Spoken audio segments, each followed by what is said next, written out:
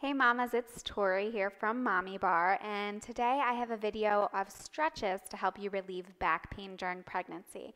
These are great for any trimester that you're in.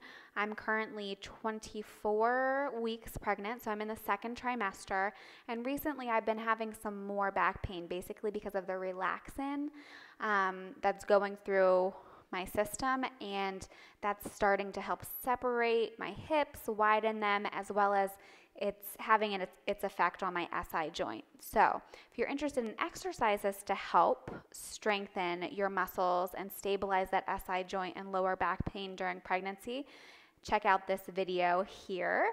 But today we're just going to focus on some stretches. All right. Please remember to subscribe to our channel because when you subscribe and like our videos, that actually helps more moms find us and help them as well. All right, so we are going to start out actually on our hands and our knees.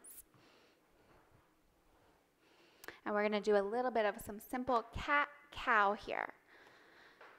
If you're familiar with that term from yoga, it's a pretty common term nowadays.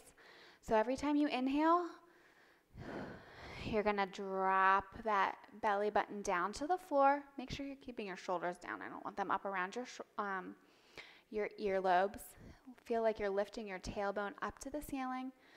And then you're going to exhale, curl and get as much of a curve in your spine as you possibly can. And pull that belly button in and lift, baby. Inhale, accentuate that curve. Exhale, pull everything up and in. And if you can, feel like that tailbone is pointing down towards the floor. I like to do about 10 of these, just at your own pace. Sometimes I like to just hang out in this little curved position as well and rock back and forth here.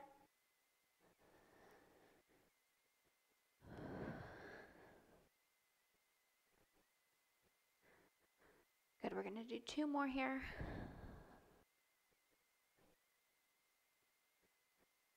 And last one. All right, now we're going to do some little wagging of our tails side to side. That'll help just get some movement through your pelvis and your spine. Like your dog wagging your tail or a cat wagging your tail.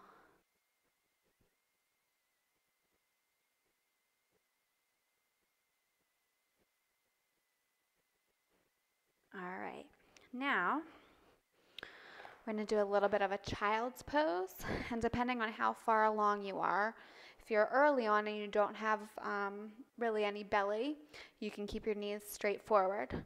I liked, I need to take my knees out to the side and basically sit on my toes and my heels behind me. And then walk your way down here into a nice child's pose position. Pulling away and I don't have with me right now, but you can put a little pillow right in front of you and roll that out over top of that to give you a little bit extra room for your belly and for baby. All right, then you're going to walk your hands over towards one side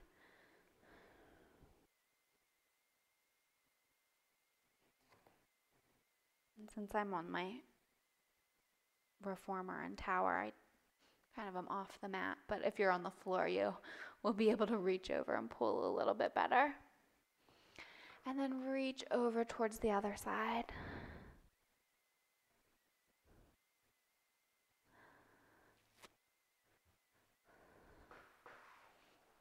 All right, from here, we're just gonna sit. You can sit with your legs in front of you you can sit with your legs crossed, or you can sit in a little um, fourth position here with one leg in front, one leg to the back. And what you're going to do here is you're just going to slide out to the side and hold your arm over. Do a nice side stretch here.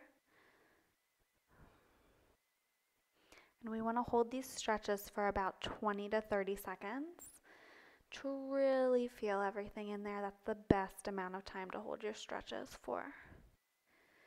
And while you're here, you can kind of rock forward and back a little bit. Just kind of feeling what feels like it needs stretched for you right now. We're going to switch sides. Same thing, roll yourself down and hold that. You can kind of go forward a little bit and back and forward and back and then bring yourself up. All right, now what we're going to do is we're going to lay on our back. Slide down to the side first before you roll onto your back. All right, we're going to take one leg up and over, cross it over your bent leg. So I have my right leg crossed over my left leg.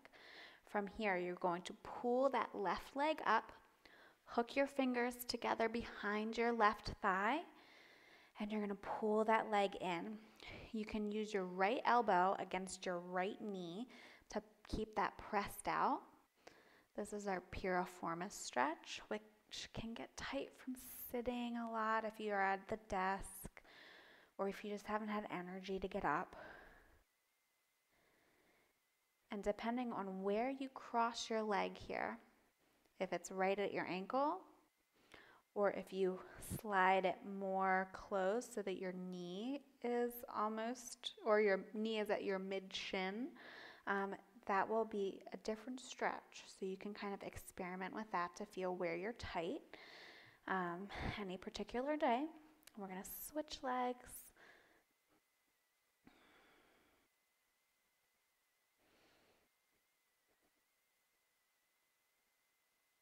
And again, this is a 20 to 30 second hold for each stretch. And experiment, see what feels good with where your leg is being crossed and what it is stretching. All right, from here, we are going to take one leg up to the ceiling and we're going to flex our foot. If you have a towel, um, actually, let me grab a little stretching band to show you.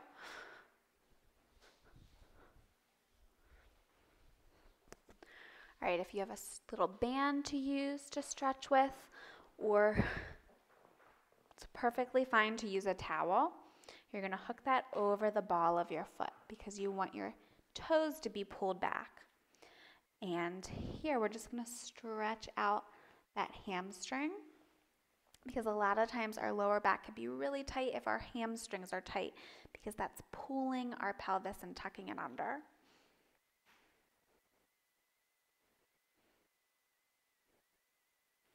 And what's more important here is that you keep your knee nice and straight.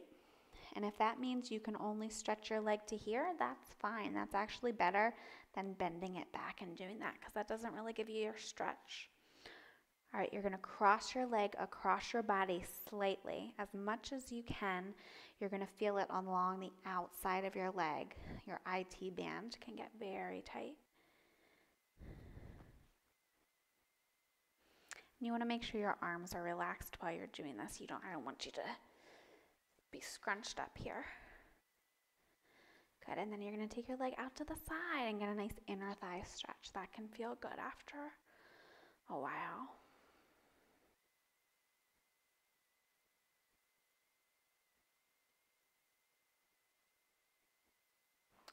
All right, we're going to switch legs. And I like to have my lower leg straighten. If you're having a lot of tightness, feel free to keep it bent, but you'll get a, um, a better stretch if you have your lower leg straight. And also up here with your foot, you want to be pulling that backwards. This leg is a lot tighter um, instead of having it pointed up because that's going to be a different, different stretch there. All right, we're going to cross that leg over slightly.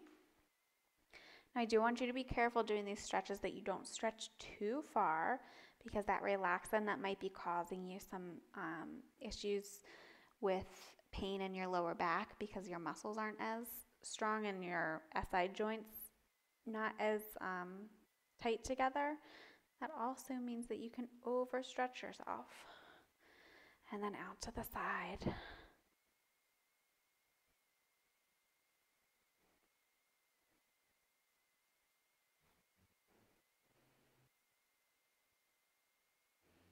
I just needed a little extra stretch on that side. And then roll to your side, press yourself up. We're gonna do two more stretches, but I'm quickly gonna show you a variation on those that we just did if getting down on your back is too uncomfortable. I know for a little bit of time it was very uncomfortable for me to get down on my back. You're just gonna cross your leg over like you're sitting in a chair and again, depending if you put your ankle right on your leg or if you cross it over more towards your knee, you're going to feel that stretching and uh, differently. And I want you, you're going to hinge forward. No curving forward, just hinging forward here. And then you can do the same on the other leg. And then for those stretches that we just did laying down on our back, you just need a little chair in front of you or a stool, a step, anything. If you need something to hold on to, the stairs are a good thing. Flexing that foot, you're going to hinge forward over over that leg. You can even bend your bottom leg.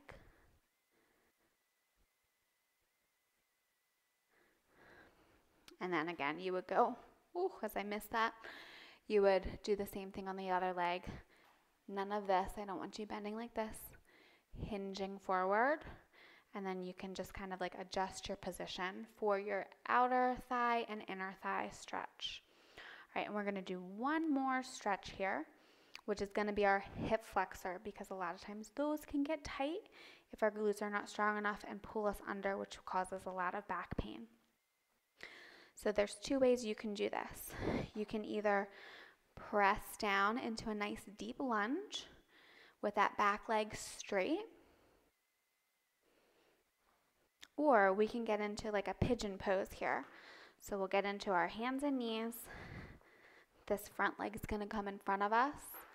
And we're going to stretch right here. You should feel it. I like to press up. And depending on where you are in your pregnancy, your belly can get in the way. You can also bend forward, but that kind of takes some of the stretch out of it. That gives you more of a piriformis stretch than anything else and back up here. So I like this one. And we'll switch sides. And then if this is too hard for you to get into or get out of, which might be the case further along in your pregnancy, you can do a nice, really deep lunge here. Making sure this front knee is staying over your toes. You don't want um, your toes to be pointing one direction and your knee to be pointing another direction. Or you can just do a nice lunge stretch here and pressing those hips forward. All right. Well, I hope you enjoyed our nice little stretches to help you relieve any pain in your back for pregnancy. And again, if you want to have look at some exercises for relief of back pain during pregnancy, just click on our video, which we just posted. All right, please make sure you subscribe to our channel so you get all of our updates. And if you're interested in learning more about one on one online sessions or classes, the info is at the end of our video. All right, I will see you next time, mamas.